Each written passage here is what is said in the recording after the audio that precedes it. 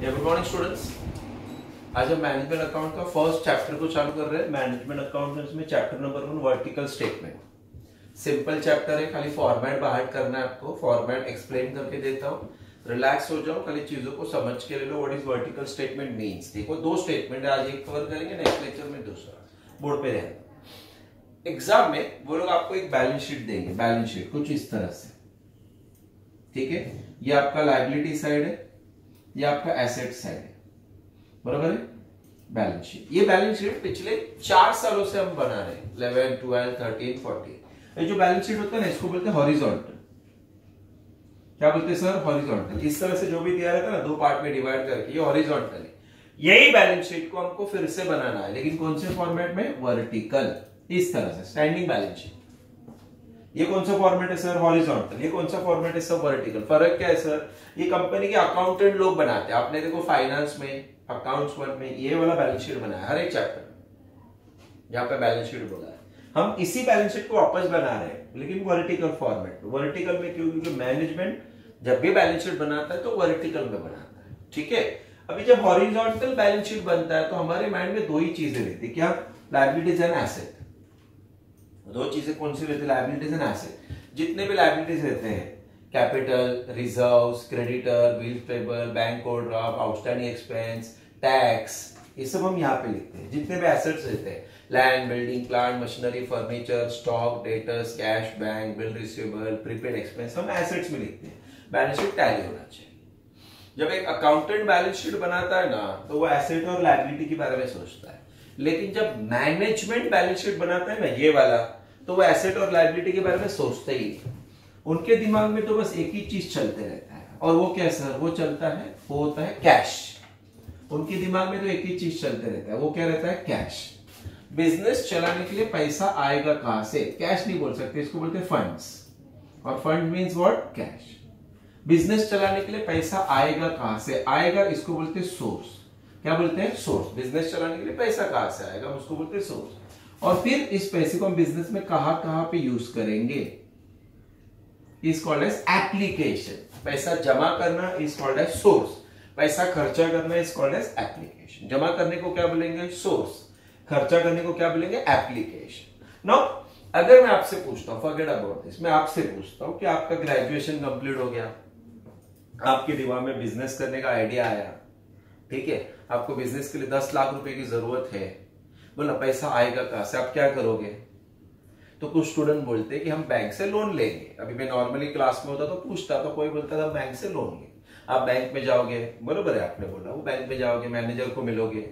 Manager को बोलोगे, देख, मेरा अभी अभी ग्रेजुएशन हो गया है, मेरे को एक मस्त आइडिया है बिज़नेस करने का। तो मुझे बिज़नेस करने के लिए पैसा चाहिए। तो मैनेजर बोलेगा वेरी गुड अच्छी बात है, आप बिज़नेस करो, करके करना भी चाहिए। वो हमसे पूछेगा। भाई, तेरा बिज़नेस का रिक्वायरमेंट कितना? बोलेंगे दस लाख। ठीक है? वो बोलेगा, आपको लोन कितने का चाहिए? हम बोलेंगे दस लाख। तो मैनेजर हमको ऐसा ऐसा गोल घुमाएगा और एक लात मारेगा। गोल घुमा के एक लात मारेगा। सर, लात क्यों मारेगा, सर? वो इसलिए क्योंकि आपका बिज़नेस का रिक्वायरमेंट है, दस लाख आपको पूरा का पूरा दस लाख बैंक से चाहिए। मतलब कल अगर बिज़नेस में कुछ भी नुकसान हो गया तो आपको टेंशन लेने की ज़रूरत ही नहीं है। टेंशन किसको लेना पड़ेगा? बैंक के मैनेजर को क्योंकि हमारा तो एक रुपया जाने वाला नहीं है। हाँ हम हमारा हाथ ऊपर कर देंगे हमको बिज़नेस में लॉस हो गया। तो पॉइंट इज़ दैट कि कोई भी बैंक आपको हंड्रेड परसेंट लोन नहीं देता। तो सर कुछ पैसा आपके पास होना चाहिए। सो so, आपके पास समझो एक चार लाख रुपया है। आप बैंक मैनेजर को मिलो, अपना पूरा फ़ाइल उसके सामने रखो, उसको हर चीज़ एक्सप्लेन करो। बोला, मेरा टोटल रिक्वायरमेंट दस लाख का है, चार लाख मेरे पास है, छह लाख बाकी का बचता है, देता है क्या? वो भी सोचेगा कि आदमी जब चार लाख रुपया डालता है तो लॉस तो नहीं करेगा। बरोबर के नहीं? हाँ तो वो आपको छह लाख रुपया देगा। तो बिज़नेस में पैसे दो रास्ते से आते एक, हमारे पास होना चाहिए कम पड़ा तो हम बैंक से क्या लेंगे? लोन वैसे हर बड़ी कंपनी में सोर्स मतलब जमा पैसा दो ही रास्ते से होता है।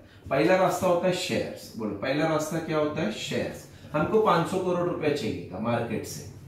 बिज़नेस चालू करने के लिए 500 करोड़। तो हमने मार्केट में क्या बेचा? शेयर्स हमने मार्केट में 500 करोड़ के शेयर्स बेचने को निकाले, लेकिन सब लोग हमको नहीं पहचानते। तो सबने नहीं खरीदे। कुछ लोगों ने हमारे शेयर्स खरीदे, कुछ लोगों ने नहीं खरीदे। तो बोला, कितना पैसा जमा हुआ? 300 करोड़। बोला, और कितने का शॉर्टफॉल आ रहा है? 200 करोड़। तो वो 200 करोड़ के लिए बोला, हम बैंक से क्या उठा सकते हैं? लोन्स कितने का? 200 करोड़. तो बोला, कितना जमा हो गया? 500 करोड़. यस और नो हाँ अगर पूरा का पूरा 500 करोड़ शेयर से आता तो हम बैंक से लोन लेते क्या? नहीं. तो लोन कब लिया जाता है जब पैसा शॉर्ट हो, क्योंकि इस पर इंटरेस्ट भरने को आएगा ना बाद में. क्यों? फालतू का हम लोग हेडेक वाला काम करेंगे. पूरा पब्लिक ने अगर 500 करोड़ हमको दे दिया शेयर से तो हमको लोन लेने की ज़रूरत नहीं है। ठीक है? तो याद रखना फंड का मतलब कैश ए फंड का मतलब कैश ए फंड का मतलब कैश आएगा सोर्स जाएगा एप्लीकेशन आएगा सोर्स जाएगा एप्लीकेशन आने का पहला रास्ता शेयर्स दूसरा लोन पहला शेयर दूसरा लोन पहला शेयर दूसरा लोन ठीक है? अभी 500 करोड़ जमा हो गया अभी हम इसको बिज़नेस में यूज़ करें। बिज़नेस में क्या करेंगे? यूज़ करें। तो नॉर्मली जब क्लास चलता तो मैं पूछता था, क्या करेंगे? बताओ 500 करोड़ का क्या करेंगे? तो लोग अलग अलग जवाब देते थे। सर, ये खरीदेंगे, वो खरीदेंगे, ये लेंगे, वो लेंगे। बरोबर है। ठीक है ना? 500 करोड़ जमा हो गया तो कुछ ना कुछ लेंगे। ऐसा तो नहीं डीजे पार्टी रखेंगे। चलो 500 करोड़ जमा हो गया, पहला डीजे पार्टी करते ऐसा नहीं होगा। आप बिज़नेस कर रहे हो तो बिज़नेस के हिसाब से चीज़ें हो।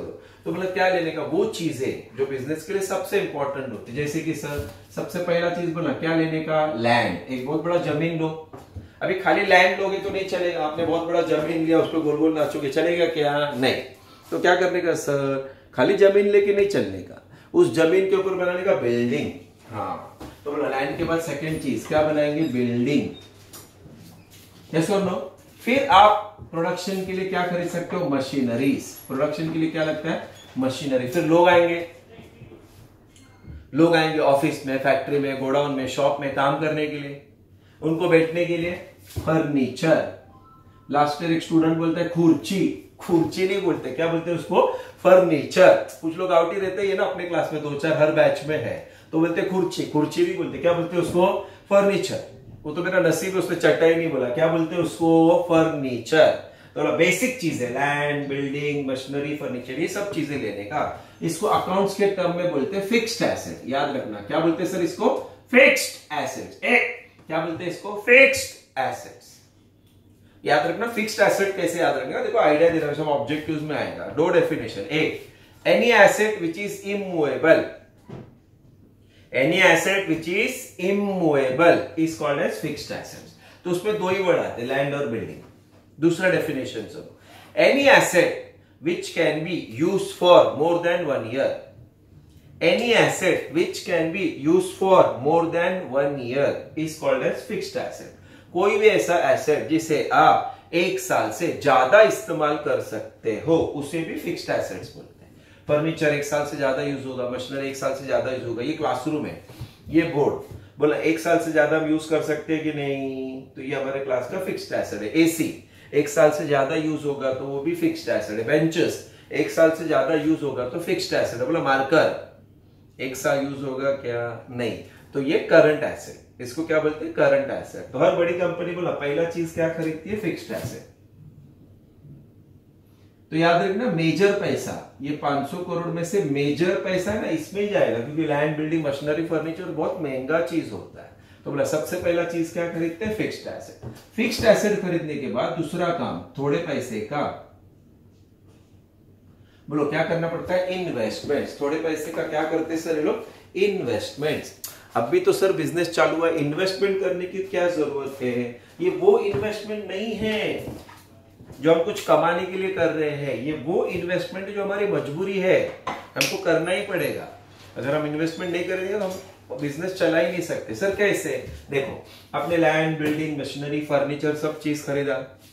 यस आपने अपना सेटअप लगा दिया, आपको प्रोडक्शन करना है प्रोडक्शन करने के लिए मशीनरी चलाना पड़ेगा। अभी मशीनरी चलाने के लिए यू रिक्वायर्ड इलेक्ट्रिसिटी और इलेक्ट्रिसिटी अपने पास कौन सप्लाई करता है? रिलायंस या टाटा तो आपको रिलायंस या टाटा में जाके इलेक्ट्रिसिटी मांगने से नहीं मिलेगा। मेरे को थोड़ा इलेक्ट्रिसिटी तो ऐसा नहीं होता है। वहाँ पे आपको डिपॉजिट भरना पड़ता है पचास हज़ार रुपया। तब वो लोग अपने यहाँ पे लाइन डालेंगे मीटर लगाएँगे। जितना तुम हर महीने इलेक्ट्रिसिटी कंज्यूम करोगे, उसका लाइट का बिल आएगा।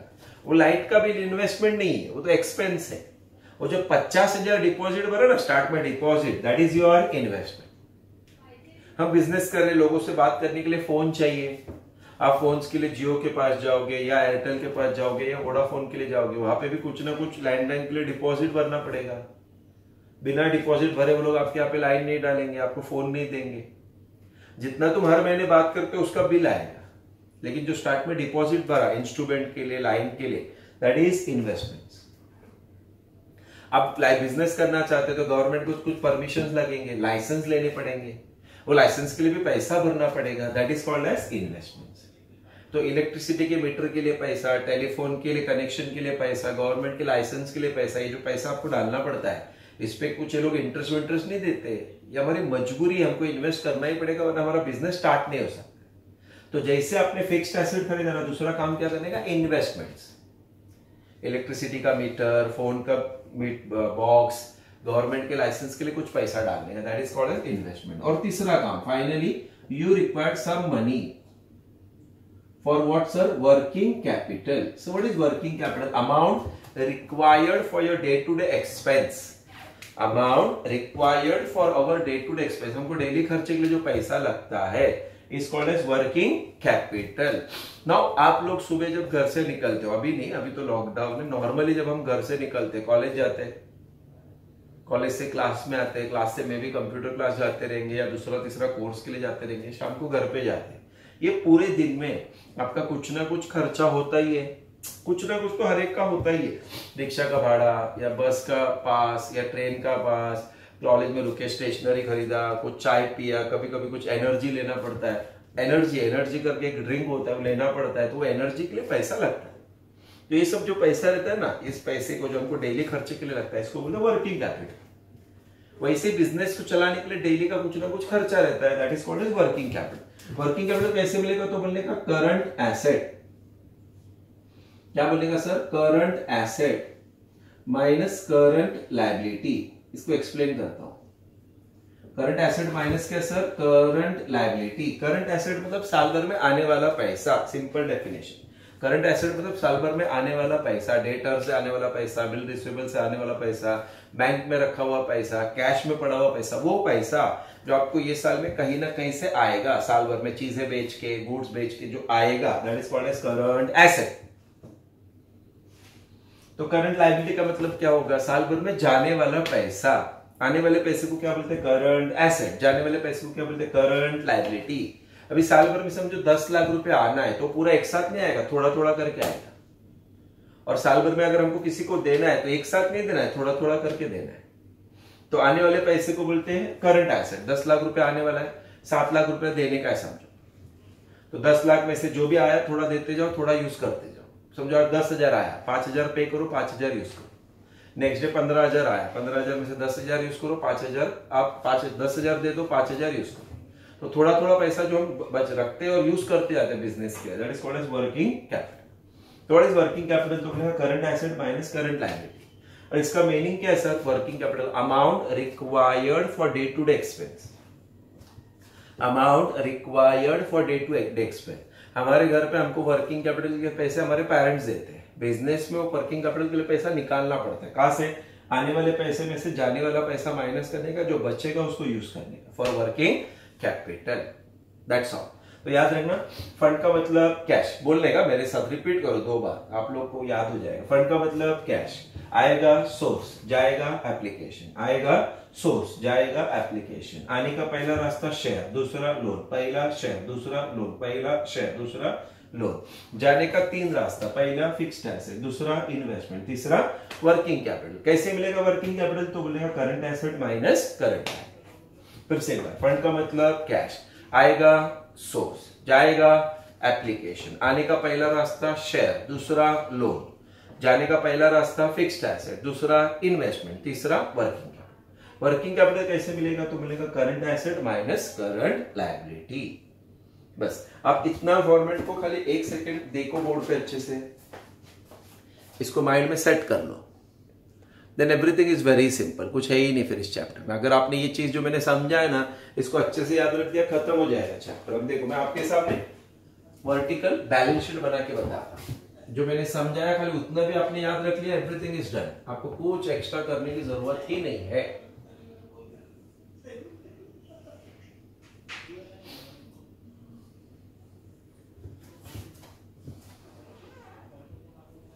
इसको हेडिंग देने का। वर्टिकल क्या बोलेगा बैलेंस शीट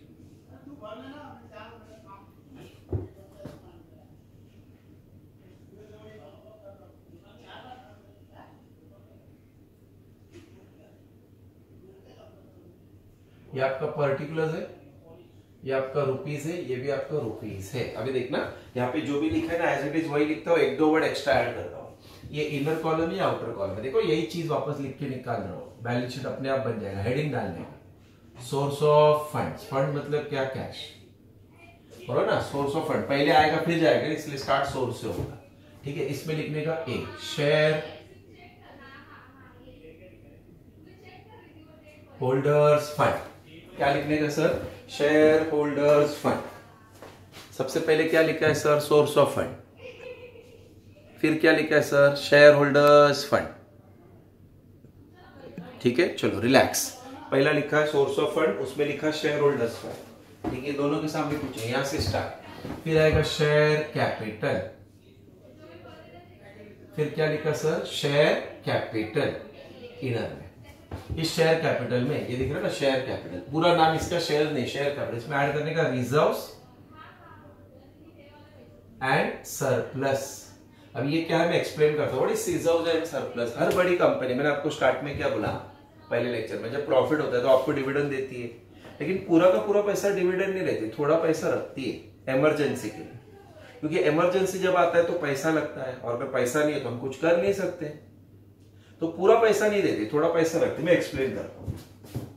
मेरा ना अपना छोटा सा एक बिज़नेस है, समझो। इस साल, पूरा साल बिज़नेस करके हर चीज़ ले दे के लास्ट में मेरे लिए दो लाख रुपया बचा।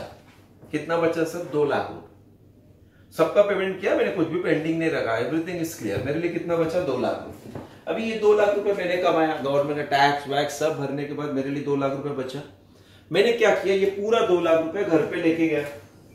मैंने क्या किया? ये पूरा का पूरा दो लाख रुपया घर पे लेके गया। घर पे भी भी दो लाख देखते ही सटिया गई। उसको समझा ही नहीं क्या करने। उसने पूरा का पूरा दो लाख रुपया छह महीने में खत्म कर अभी खत्म कर दिया अपन कुछ बोल सकते हैं क्या? नहीं। कुछ नहीं बोल सकते। क्यों?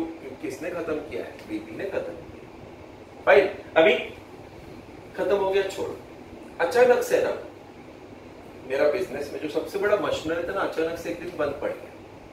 मैंने इंजीनियर को बुलाया बोला चेक कर। बोलते, सर, इसका एक पार्ट खराब हो गया, बदलना पड़ेगा नया डालना पड़ेगा। मैंने पूछा, कितना खर्चा आएगा? बोलते, पचास हज़ार।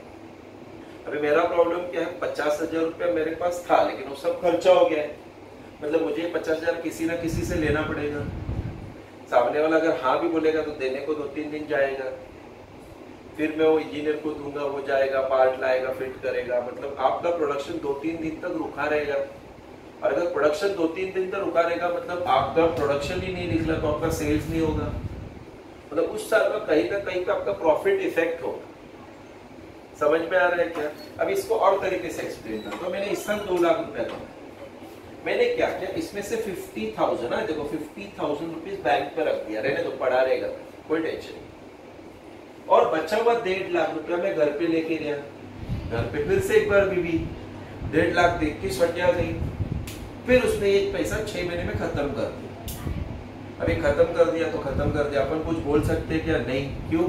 किसने खत्म किया? बीबी ने खत्म फाइन पचास हज़ार रुपये अपने अकाउंट में है। अचानक से छह महीने के बाद मेरा जो सबसे बड़ा मशीनरी था, वो बंद पड़ गया। मैंने इंजीनियर को बुलाया, बोला चेक कर। तो सर इसका एक पार्ट खराब हो गया, बदल के नया पार्ट डालना पड़ेगा। मैंने पूछा, कितना खर्चा आएगा? बोलता, पचास हज़ार। मैंने बोला, चल, काम चालू कर। अब आप बताओ, मैं इतना कॉन्फिडेंटली कैसे बोल सकता हूँ उसको काम चालू कर? क्योंकि अपने को मालूम है कि अपने अकाउंट में फिफ्टी थाउज़ेंड रुपीज़ है। मैं बैंक में गया अकाउंट से पैसा निकाला, उसको ला के दिया। महीना दो महीने का बात है अपना। एक आध घंटे का बात है, एक आध घंटे में मेरा काम हो गया। राइट मैंने उसको इमीडिएटली पैसा दे दिया। काम चालू गया। आपका प्रोडक्शन इफ़ेक्ट नहीं। तो जब भी आप अपना पैसा इमरजेंसी के लिए अपने पास रखते हो सेफ्टी के लिए रखते हो, उस पैसे को अकाउंट्स के टर्म में क्या बोलते हैं? रिज़र्व एंड सरप्लस आपका ही पैसा है। इसलिए आपके शेयर्स के साथ ये क्या हो जाता है? ऐड और इसमें से एक चीज़ होता है। लेस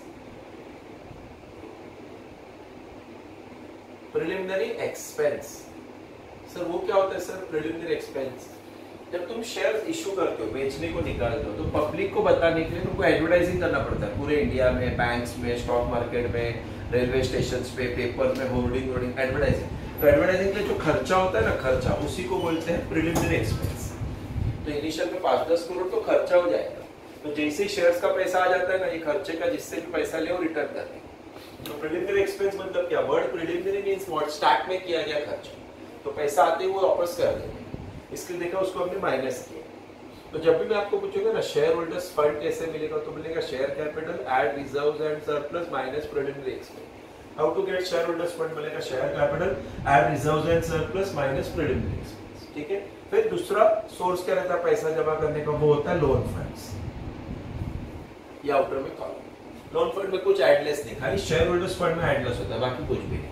ये आपका शेयर होल्डर्स फंड है मतलब शेयर है, ये आपका लोन है, ये दोनों को ऐड करना और ये आपका पहला टोटल आएगा, इसको नाम देने का ए प्लस डी बोलो, क्या मिलेगा इसको? ए प्लस डी ये आपका दो पार्ट कंप्लीट हो गया पेरेंट से।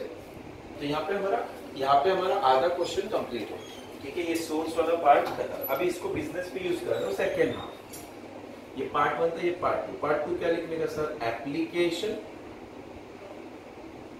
ऑफ़ फंड्स इसमें देखना कुछ भी नहीं है एप्लीकेशन ऑफ़ फंड खर्चा करने का। पहला चीज़ बोलो, क्या खरीदने को बोला मैंने? Fix assets as it is दूसरा चीज़ sir investment as it is और तीसरा चीज़ working capital as it is वो कैसे मिलेगा? तो मैंने कहा current assets very good minus what current liabilities current asset minus what current liabilities ये वर्किंग कैपिटल ये वर्किंग कैपिटल ये पहला टिक मार्क ये दूसरा टिक मार्क ये तीसरा टिक मार्क ये आपका ए है, ये आपका बी है और ये आपका सी है. यहाँ पे खाली दो है ना ए और बी तो टोटल को नाम दिया ए प्लस बी यहाँ पे ए बी सी है. तो टोटल को क्या नाम देंगे? A plus B plus C और कंडीशन याद रखना, ये वाला टोटल ये वाला टोटल टैली होना चाहिए. टैली हुआ है मतलब आपने जो भी सॉल्व किया वो सही है। टैली नहीं हुआ है तो हमारे से कुछ ना कुछ गड़बड़ हुआ है। टैली होना ही चाहिए। बैलेंस शीट जब हम बनाते हैं, वो हॉरिजॉन्टल हो वर्टिकल होने गोल होने तो बैलेंस शीट कंपलसरी टैली होनी चाहिए। अभी अगर आप ध्यान से देखो तो मैंने आपको जब थ्योरी पार्ट सिखाया, उसमें और इसमें everything as it is board से कॉपी ये दो खाली नए वर्ड मैंने ऐड किए। Otherwise everything is as per the theory what I had covered तो अगर आप ये भी याद रखो ना तो ये अपने आप में सिंपल हो जाएगा। आप इसको अभी जितने बार रिपीट करोगे बाहर हो जाएगा। मेरे साथ दो तीन बार रिपीट करो, अपने आप बाहर हो जाएगा। बोलो स्टार्ट करो। वर्टिकल बैलेंस शीट कॉपी करके ले लेगा होने के बाद। Number one sources of fund उसमें A shareholders fund shareholders fund में share capital add what reserves and surplus less preliminary expense part B loan fund total A plus B second part application of fund उसमें A आएगा fixed assets B आएगा investment C आएगा working capital वो कैसे मिलेगा? Current asset minus current liability total A plus B plus C आपने देखा मैंने कैसे रिपीट किया इट इज़ अभी बोर्ड पे ध्यान अभी देखो, मैं बिना बोले रिपीट कर रहा हूँ, पूरा का पूरा बैलेंस शीट और मैं चाहता हूँ आपको भी वैसे आना चाहिए। ठीक है बैलेंस शीट का स्टार्ट होगा number one sources of fund आप देखते रहना ए आएगा share holders fund share holders fund में share capital add reserves and surplus, less preliminary expense. Part B, loan funds, total A plus B. Second part, application of fund. A आएगा fixed asset, B आएगा investment, C आएगा working capital. वो कैसे मिलेगा current asset minus current liability total will be A plus B plus C मेरे साथ repeat करो repeat करो प्लस अभी मैं बोलते जाऊँगा आप रिपीट करो बाहर करना है, इसमें कुछ है ही नहीं एग्ज़ाम में बाहर करके जा रहा है। Number one sources of fund A shareholders fund shareholders fund में share capital add reserve and surplus less preliminary expense part B loan fund very good total A plus B एक number number two application of fund A fixed assets B investment C working capital वो कैसे मिलेगा? Current asset minus current liability the total will be A plus B plus ये आपको लिख के लेने की ज़रूरत नहीं है, ये तो थ्योरी के एक्सप्लेन करने की ये फॉर्मेट है ना, जैसे आपका बुक में लिखते हो गए ना, इसको आज ही बाहर करें। दो फॉर्मेट है। ये अगर तुमको बाहर हो गया ना तो तुम पकड़ के चलो कि तुम्हारा 45 मार्क्स का पेपर हो गया। एग्ज़ाम में तीन क्वेश्चन करके आओगे। मेरा गारंटी याद रखना, तीन क्वेश्चन आप मेरे पे छोड़ देना। तीन क्वेश्चन पंद्रह पंद्रह पंद्रह फोर्टी फाइव बीस मार्क का ऑब्जेक्टिव बराबर है फोर्टी फाइव प्लस बीस। सिक्सटी फाइव बीस मार्क का शॉर्ट नोट्स वो तो कुछ भी फेंक के आ गया। कुछ भी, मेरे को ऐसा लगता है करके। लिखने का वो बीस हो गया। एटी फाइव का पेपर तो ऐसा ही हो गया। पप्पू तो ऐसे ही पास हो गया। किसी भी हालत में आपको फॉर्मेट याद होना चाहिए। एक हुआ सेकंड वाला फॉर्मेट नेक्स्ट लेक्चर में कवर करो अभी जब आप क्लास में आते रहते थे ना, ये फॉर्मेट में आपको क्लास में इतने बार रिपीट कराता था ना कि हार्ड हो जाता अभी क्या आप लोग वीडियोस के थ्रू पढ़ रहे हो? मेरा भी कुछ मजबूरी, आपका भी कुछ मजबूरी है। बट कुछ चीज़ें आपके हाथ में है। लिख के हो गया बुक सामने रखो फॉर्मेट बांट बस, आपको चैप्टर ऐसे ही सिंपल जाएगा। बाद में खाली इसमें अमाउंट फिलअप करना है, बस, और टोटल करना है। कुछ है ही नहीं इसमें। It will be very simple मैं उतना सिंपल लेवल पे लेके भी जाऊँ। डोंट तो आज के लिए हम पैकअप करते हैं। लिख के रखने का सब लोग प्रॉपरली